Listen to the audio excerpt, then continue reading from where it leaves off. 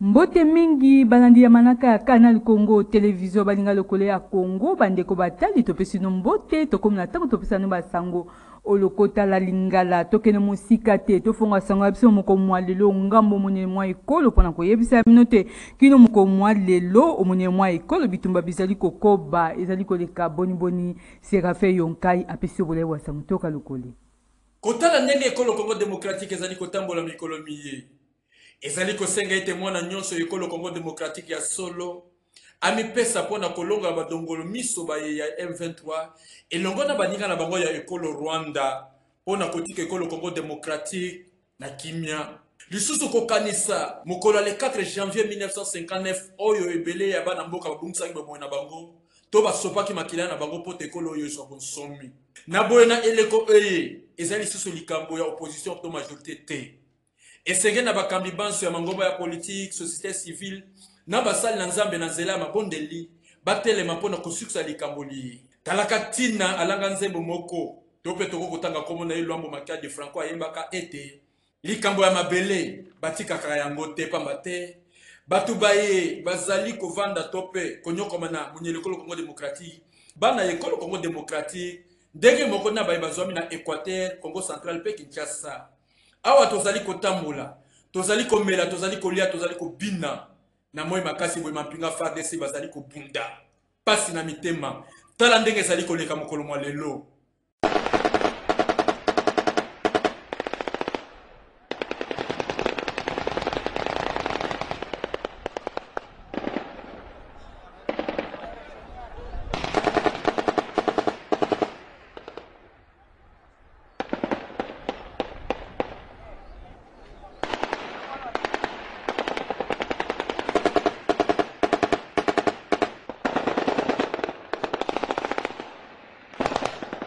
kanisa ete likambo oyo ezali koleka na monyele ekolo congo democratique Esalema awa na kati nguma mokonzi Kinshasa. Tokosuka boni boni? Te, mwana ekolo Congo demokratike ya solo. Telema biso nyonso na nsima ya mampinga ya FARDC. Pamba te likambo na biso na ekolo Rwanda ewumeli ntango molai. Likambo nyonso ezalaka na ebandeli mpe suka. Bana ya ekolo Rwanda mpe bayeba ya solo te na ekolo ya Emery Patrice Lumumba balongi ya solo to babundeli bazali Lokole ya Congo, ndakisa ya mbongwana. Na sango etali bokutani ya mwana mboka Christophe Lutundula pe Vincent Karega, bosengo koyeba te bapesi ye mikolo mibale to pe 48 heures, ye nani ndeko Vincent Karega oyo atalaka mambi ya ndako ya bapaya ya ekolo Rwanda te aleka na kotika mabele ya ekolo Congo democratique? Tolanda bolayi bwa sango elobeli ya Leticia Bilepo. Wuta suka ya poso eleki nde bapesaki mokanda moko na ndeko atalaka mambi ya ndako ya ekolo Rwanda, Vincent Karega. Mokanda oyo epesamaki epayi ya ministre atalaka mambi ya affaires etrangères, mwana mboka Christophe Lutundula. Pe bapesi ndeko Vincent Karega mikolo mibale te atika ekolo Congo democratique kobanda mokolo mua lelo ya misala moko to mpe lundi 31 octobre 2022 mpo na mbulamatari ya ekolo Congo democratique, bango batalisi ete ekolo ya Avesta Karega ezali kosunga badongolo miso ya M23 oyo bazali kobundisa mpe konyokola bana mboka omonyele mwa ekolo Congo democratique mpe mapinga ya FARDC.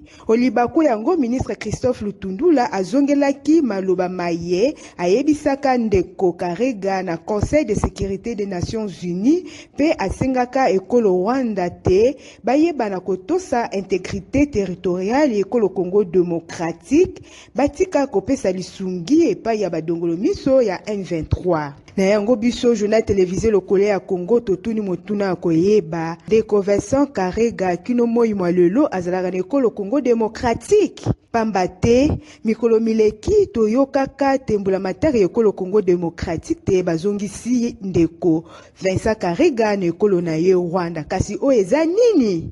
Lokole ya Congo ndakisa ya mbongwana. Na sango mosusu bosengeli koyeba te mwana mboka Serge Kaboko, moko kati ya lingomba ya politiki ya SID, asepeli na maloba ya Martin Fayulu na tina te bomoko eleka na kozala mpo na kolonga bitumba biye bizali kondongwama mingi mone mwa ekolo. Seraphin Yonkay mpe Heritier Tubilandu basololaki na ye, bapesi bolai bwa sango. Toyoka lokole. Maloba ya mwana mboka Martin Fayulu Madidi, mokambi ya lingomba politiki ebengami Engagement pour la citoyennite et le développement eside na bokuse ete esengeli na ntango oyo bomoko esalema na kati ekolo Congo démocratique mpo na kopesa ba FRDC maboko mpo na kolonga bitumba ya monyele ekolo Congo démocratique.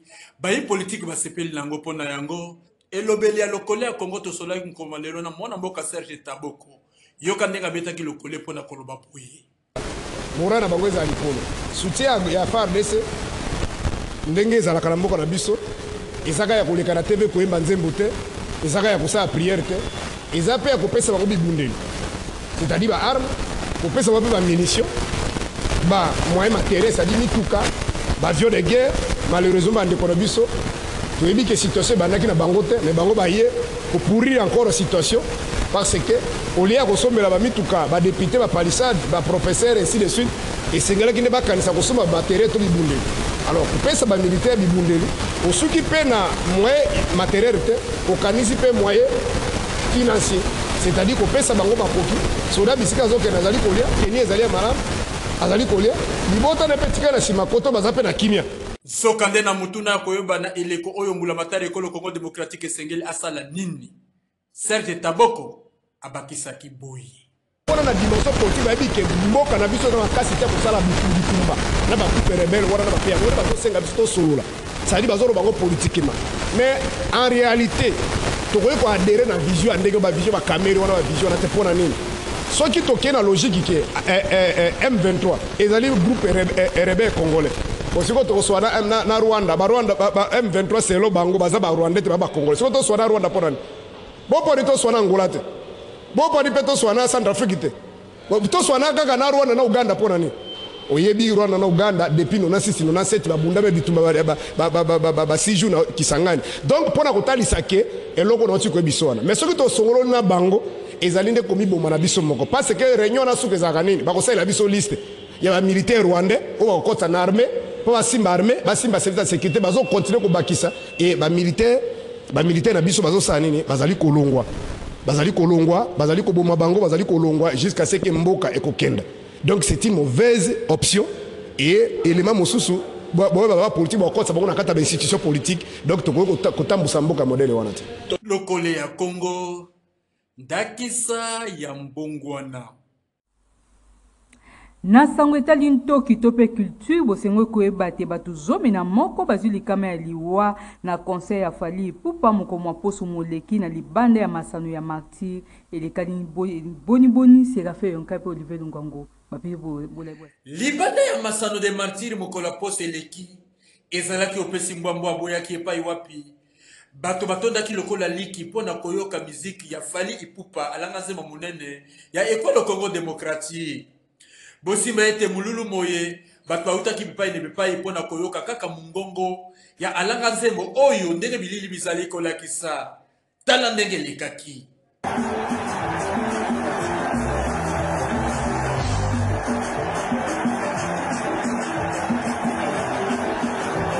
kasi likambo ya mpasi ezali ete na kati ya molulu mwango bokengi bwa solo mpenza ezalaki te epai wapi bato zomi na moko to mpe 11 personnes bazwaki likama ya liwa Na kati ya likama yango, bapolisi mpe babale bakufaki.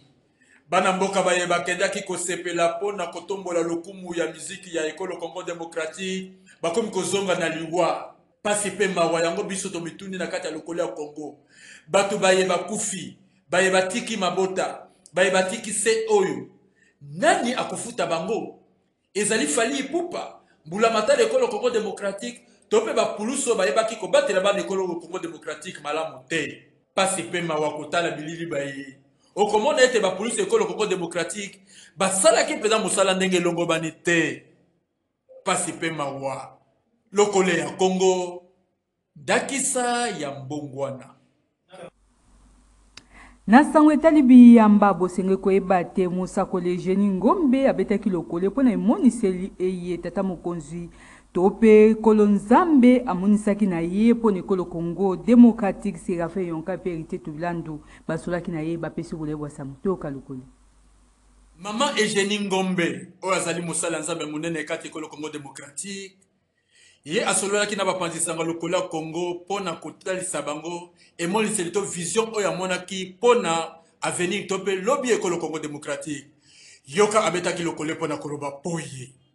Mutu nionso alingi mboka ya Congo, zala chretien, zala religieux, zala païen, parce que Nzambe azali, la Bible dit, un païen Hee chretien tous nous sommes peuple de Dieu lokola oza congolais na kati ya mboka libanda ya mboka yo moko banda ko tinda confusion na nzambe place nionso M23 azali kuna ba campe le ozo yebisa nzambe maloba boye nzambe yo obandaki na 2012 na 2013 tango alobaki bakende kopanza bango bakende ko atake bango lobi nango bakendaki pe ba atake bango nde lisolo bozo loba kaka boyebi makambo te mais moi je vous donne ce, ce qui avait été Ba pa ba batakaki bango nzambe alobi c'est moi meme qui me tiens la main nazo kamwa lelo batu bazo loba makambo ya mboka ya mabele etali nzambe te eza makambo ya satan est ce que satan akela mboka awa satan aza ata na tonga te oyo atongi tout c'est pour Dieu c'est Dieu qui a tout cree et surtout le Congo avec toutes les richesses que nous avons c'est le Congo retenez ceci Rwanda, Baza utilisé en Amérique. C'est l'Amérique qui nous combat. C'est l'Amérique qui cherche notre terre, qui cherche nos richesses. C'est en grosso modo, en conclusion, ce que je vous dis.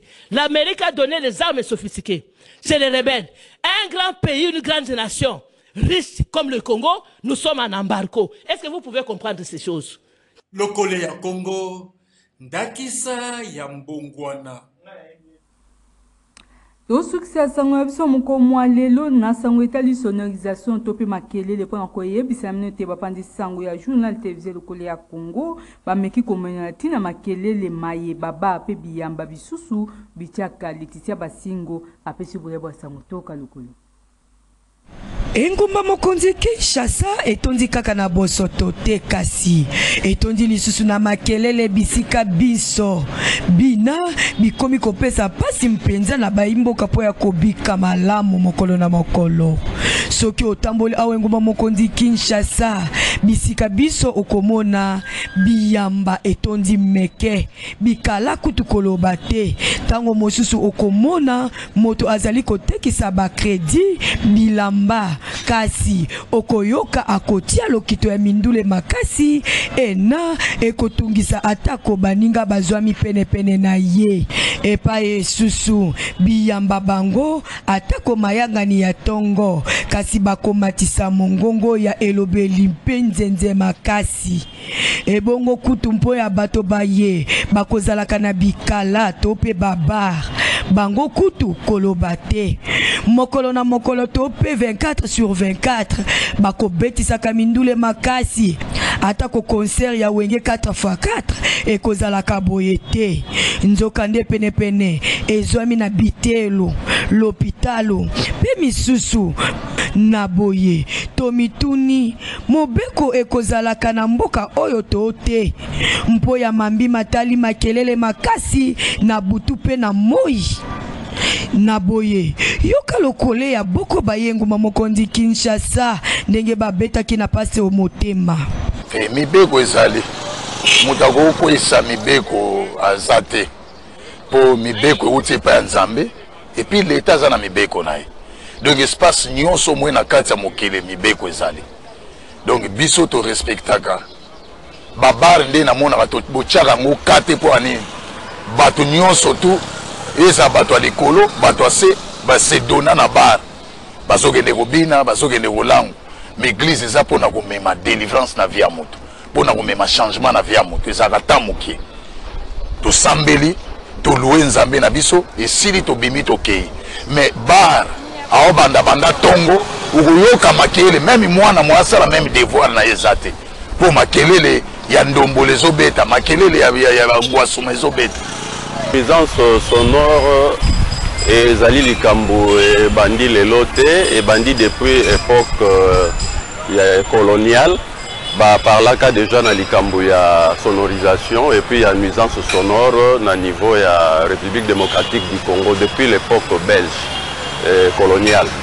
Et alors euh, ba kotia ba baffle libanda ba nini en tout cas selon mibeko Ezali vraiment prohibe ya kotia ba baffle na libanda. Et mibeko oyo ebima na mboka oyo depuis epoque coloniale jusqu'à ce que le gouverneur Andre Kimbuta le 9 octobre 2012 avait signé même un edit oyo epekisaki toujours makambo ya sonorisation mpo na nuisance sonore. Lokole ya Congo, ndakisa ya mbongwana. Na sango eye nde tosukisi manso tolengelaki mpo na bino mokolo mwa lelo, kasi soki bosepelaki na sango epai wapi bozwami, bobwaka maboko eyambe epai ya bwino Nzinga Olivier Lungongo mpe Fabrice Engudi, mpe ba sango ya lelo ekambamaki na Seraphin Yonkay. Na kombo na bango banso na tombeli bino bolandi malamu ya manaka ya Canal Congo Television. Botikala malamu tokutani mbala sima.